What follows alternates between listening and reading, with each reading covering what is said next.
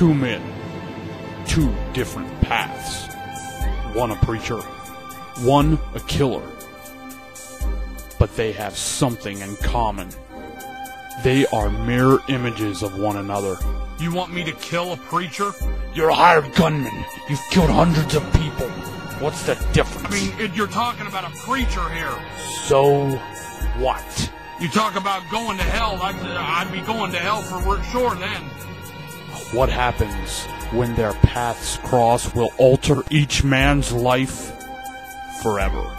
Pastor Jason S. Lockett stars in the dual role in this Lighthouse Pictures crime drama.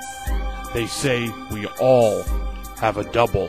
Who is your mirror image?